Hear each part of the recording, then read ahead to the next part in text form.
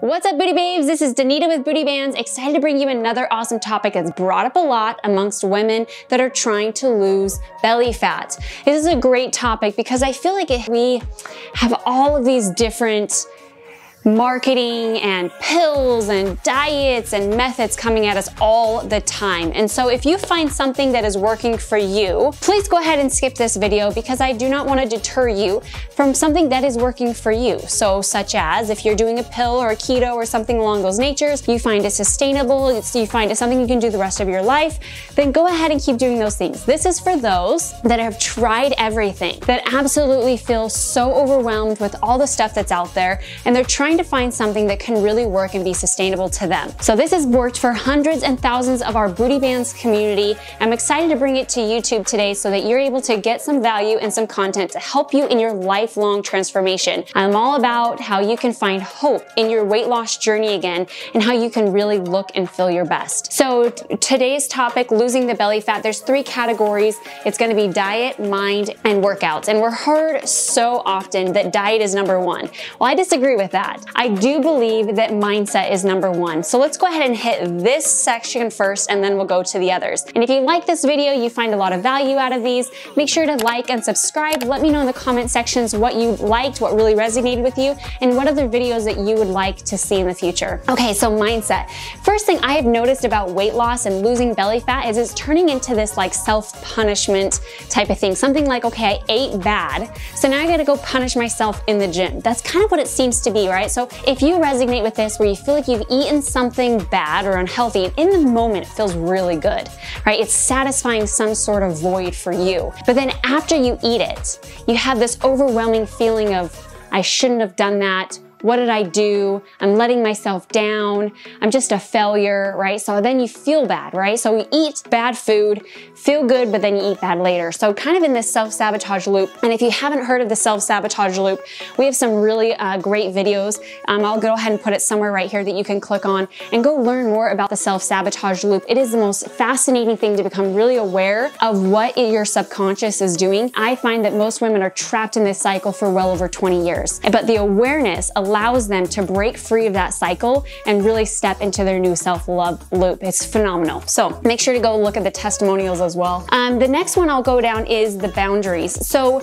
this is one of the biggest mistakes, especially amongst women um, that we find ourselves doing a lot is we don't set those boundaries correctly. I'll also put another video up here talking about the three different types of boundaries um, and where we are literally just not even focusing on ourselves, but everybody else around us and what their needs are. So the extremely extremely important to number one, set boundaries so that we are putting ourselves first, so that instead of pouring from our leaks, instead we pour from our overflow. And can we do that? Yes, we can, but we have to make sure that we hit those boundaries first. The next one is really being aware of the weaknesses. This kind of does tie back into the self-sabotage loop because awareness is the first step to change. So being awareness of your weaknesses, I'm just gonna give you an example and I want you to grab your journal if this at all, um, if you're able to be aware of your weaknesses. For, for me, I'll, I'll do me, me first and then I'll, um, I'll, I'll tell you some examples of some booty band members that I've been able to interview. So for me, I have the biggest issue with buffets. If you put this whole buffet in front of me and say, don't have too many calories, it's unheard of for me. Like I just can't do it. When I hit a buffet, I literally want to try every single thing. Like it's just a weird flavor palate, it's a big issue of mine. And so I recognize that within myself. So if my boyfriend ever asked me, hey, um, let's go to date night, do you wanna do a buffet or do you wanna do a fancier dinner? Heck yeah, I'm gonna choose the fancier dinner because I just have a plate instead of a whole buffet. So that's my weakness that I've learned. And so the biggest thing is be aware of your weaknesses so you can learn to better prepare yourself for them. So I prepare myself ahead of time. Now let's go into some others. Booty band members that I know are some of their weaknesses. Some is traveling. For them, like they have work that they have to travel every single month and every time they travel, it immediately throws them off their routine. They can't seem to eat healthy, they lose their workout routine, everything just kind of goes into a disarray. So the best thing to do is become aware of that is your, that's your, that's your thing, that's your, that's your biggest thing that slips you up, that's your trigger. Now learning how to better prepare. So writing down and write out what those are for you and how to better prepare in the future. It's not about the second all of a sudden you're in it and you lose it. You have to prepare ahead of time before it happens. And so that's what this exercise would be today is sit down and learn what those are and how to better prepare. So the last thing on time and, and preparation, I hear all the time, Danita, I don't have time. I'm a busy stay at home mom or I'm a single parent mom with three children or, you know, I work full time and I go to school or whatever the excuses start to come, right? And I say excuses and I know that sometimes hurts, right? Because obviously we feel like we don't have time. But I am gonna ask you something here. If we really had it as a priority, we would make the time for it. So I want you to really think about where in your day, if it's excess television, if it's excess social media, if it's really being a lot smarter with how you are working, like really, uh, again, setting boundaries and making sure that other people are not dominating your day, things like that. There's gonna be all sorts of ways that if you really sat down and thought about it, you're gonna find to really make a way to sit down and prepare those meals because I truly think that when you meal prep, and when you prepare ahead of time, you're saving yourself time right? So it's just really where your priorities are. So make that make that mental note there. But that's all mindset. And Booty Bands and Barbells, we believe in all three of these areas. We have a three-step program to really help you cut fat and keep your curves. And we have a mindset course that really allows us to go into a group of women and help us with the mindset because that truly, in my opinion, doesn't matter how many workouts or how many meal plans I give you. If your mindset is not on course, you will fall off track. And so the mindset is definitely number one. But the beautiful thing is, is that Booty Bands and Barbells has a proven step program to help help you get into that self-love loop and get out of the self-sabotage loop and really get those long-term results. That's the beautiful part about it. It's awesome. So the next one, let's go into diet because that's gonna be the next, okay? So diet, we, we know that abs are made in the kitchen. Yes, that is absolutely true after mindset, okay? So another video about um, stop counting calories and instead focusing on really learning how to portion and, and you look at the percentages of your macros. Macros, the protein, carbs, and fats. Forget about all the uh, food pyramids and everything else that's complicated, just focusing on those three things and learning how to organize your plate. And if you do not know how to do that, I did shoot a video recently that I'll go ahead and post right here in the corner somewhere. You can go ahead and click on and learn more about your calories, stop counting calories and learn more about the macros. The next one I dive into is obviously in that same video, I dive into the blood sugar whiplash. Another video on this about basically where your blood sugar level is and when you're just having the carbs and the sugar and your blood sugar is going like this, you're gonna eventually find yourself either one, diabetic, insulin resistance, or, or two, hypoglycemic. So lots of health issues come with the whiplash effect, but not only just health issues, the belly fat, all right? So when our blood sugar spikes and we're just having, let's say, just imagine, let's say you just had just a cup of orange juice and we didn't have anything else with it. What you're doing is you're spiking that blood sugar because there's nothing else to balance out the blood sugar. No fiber, no protein, no carbohydrates, nothing, right? Or no fat. It's, uh, you're just a bunch of sugar. So even though it's technically healthy because it's fruit, right? Little did we know about really spiking the blood sugar. And what it does is when insulin tries to come up, when it's so high, ends up making it so that the insulin eventually wants to go and protect cells and it no longer protects the blood. The blood then stores the extra sugar into the adipose tissue, hence belly fat. So if there's one really key takeaway, make sure that we're stabilizing our blood sugar levels by instead of having orange juice, instead look for maybe orange juice and like half of half orange juice and maybe you had protein bar or uh, trail mix or I mean I could sit here and go on but like anything that had some healthy fats healthy proteins along with that sugar is gonna help balance it out so key takeaway you can still have orange juice make sure you balance it. Next is um, skipping meals. This was is a massive one, obviously goes back down here to time and preparation. Skipping meals, um, you know, it feels like it's, it's not that big of a deal, especially for women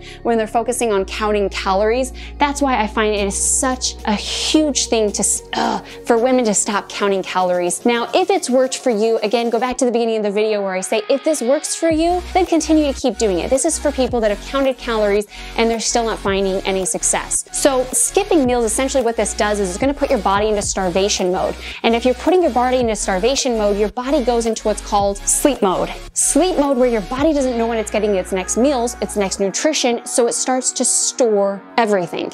So hence, if you've ever felt like you've been skipping meals, but you feel like your stomach is getting bigger, that's why. So if you feel like, geez, man, I hardly eat anything, I'm barely getting any calories, how come I'm not losing this weight? That's gonna be an absolute sure sign of it is make sure you're not skipping meals, make sure that you are balancing that blood sugar not putting your body into that starvation mode. The next one here for diet, I have to talk about protein because I speak to, again, hundreds and thousands of women are so passionate about really changing their lives. And one of the biggest things is 99.9, I actually, I can almost say 100% at this point. Every woman I've spoken to has not enough, does not have enough protein in her entire day, let alone in each one of her meals. So let me ask you the question right now. Do you have protein in every one of your meals? And if you don't, you're gonna be protein deficient. One of the biggest things about speeding our metabolism as we get older is going to be that lean muscle. And by feeding the lean muscle to speed our metabolism, we need that protein. And so how do we get protein in? A simple protein shake throughout the day, nuts and seeds when you're on the go, adding nuts and seeds to on top of like your salads or your oatmeals and things like that. There's all sorts of many different ways. You can always join the Booty Bands and Barbells community where there is a meal plan with recipes that you can join, whether you're plant-based, regular, doesn't matter, um, and show you how to get more protein into your meals. Um, okay, so the next would be having veggies and more fiber into your diet. Now, your parents always said, eat your vegetables, but did they ever tell you that because of not just nutrients that you should eat your veggies, they said that it can actually help you lose your belly fat? I wish somebody would have told me that. I would have ate way more vegetables in the day. But now I eat my vegetables and I see my waist getting smaller and smaller every day. So make sure that you're really focusing on those vegetables. People that I notice are not getting in enough vegetables do have a lot thicker of a waistline. So really try to put that, I say that because I speak to women and they go, I don't like vegetables. Well, you can't tell me you don't like every single kind, right? There's a, hundreds and hundreds of different versions and kinds of vegetables out there. And there's ones that you can actually mask with different flavors. So such as cauliflower, zucchini, you can freeze them, throw them into a smoothie and you put like a strawberry in it. It takes the flavor of the strawberry and you can't even taste cauliflower or zucchini. So little techniques like that that you can do. Obviously we can do another video on just vegetables, but that will hopefully give you some little insights there. And then fiber, always try to increase your fiber to shrink that waist too. Next, let's go into the workouts. So last component of today's video. It is very, very important here. I hear a lot um, that women are just doing excess cardio all the time to try to lose the weight. Now, that's great. Cardio is great for your heart and it's great um, to obviously boost your endorphins. It's amazing to just, you know, keep that body in movement. I totally believe that the, the movement of the body is like lotion that's like really the for your joints, for your ligaments, for arthritis later. Body in motion is like lotion, right? I don't know if you've ever heard that, but it's kind of a funny term. But um, extremely important to recognize that on all of these is that resistance training actually has to be number one. Why is that? If you know, comment down below. And I think I've uh, definitely have said this way too much owning a company called Booty Bands and Barbells. the resistance training with either resistance bands or the weights is going to help build the lean muscle. And building lean muscle, we know, speeds the metabolism, which burns more calories or more fat even while you're sleeping, therefore making your life a lot easier. So if you're struggling with weight loss, struggling with losing belly fat, ask yourself right now, what are you doing? So I've got two different components here. I have either if you want, if you're trying to lose well over 20 pounds or if you're just looking to lose like maybe that five to 10 pounds. The difference here I got here for you is if you're if you're looking to lose over 20 pounds, you're gonna one wanna focus really hard on the diet. I, I have seen women that are wanting to lose well over 20 pounds, they just flip their diet just a little bit and immediately they, they're able to start shrinking in size. But when we do shrink in size, keep in mind that we can lose all of our curves. So hence, Booty Bands and Barbells is all about cut fat and keep your curves. So we wanna start implementing resistance training. It can be anywhere from three to five times a week, but I say that lightly. Because if you're not doing any resistance training at all, and I'm telling you to all of a sudden start doing resistance for three to five times a week, you're gonna get so overwhelmed you're not gonna do anything. So my question to you is just do 1% better than what you did yesterday. If yesterday you did zero resistance training, then today all I ask is just do one just one day a week of resistance training. That's it. So work your way in progression, not perfection. And then the next thing for if you're looking to lose over 20 pounds is cardio is about two to four times a week. Now again, if you're not doing any cardio at all in a week, I'm asking you just to do one time a week. And then there is where we start to pick up into the mindset, the self-love loop, and we start focusing on the progression. Now, if you're not looking to lose over 20 pounds, my number one thing is definitely going to resistance training anywhere from about three to five times a week. And your cardio can bump down to about one or two times a week.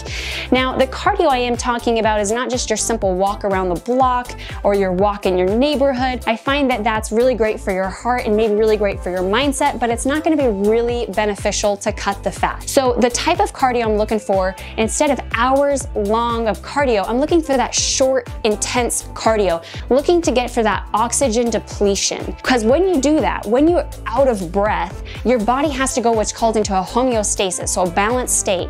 And when it has to do that, it's starting to burn more calories after your workout. So I'll give you an example here. If I just did a walk around the block for about 30 minutes, okay, I'm gonna lose, I don't know, I'm just gonna throw it out there, maybe 100 calories. I'm just, I'm just throwing a number out there. And then when I'm done with the cardio, I am done with a calorie burn. But if I did HIIT training for 15 minutes, if I had burned 100 calories, I'm still gonna be burning calories probably up to 24, sometimes 48 hours after the workout because my body has to go back into homeostasis, which means I could be burning up to 200, 300 calories by doing a HIIT training rather than just steady state cardio. So hence why Booty Bands and Barbells is all about go into a 10, 15 minute workout where we go into resistance training and we go into high intensity uh, cardio that are very short workouts, but way more effective because you're burning calories even after your workout. Hopefully that made a little bit more sense there. But that is overall, in general, just how to lose the belly fat. Hopefully this helped. Hopefully this left with some amazing value that you can take with you and start implementing today. Um, if this at all overwhelmed you, then what I want you to do is just look at the journal that you have written down with all your notes and circle on one thing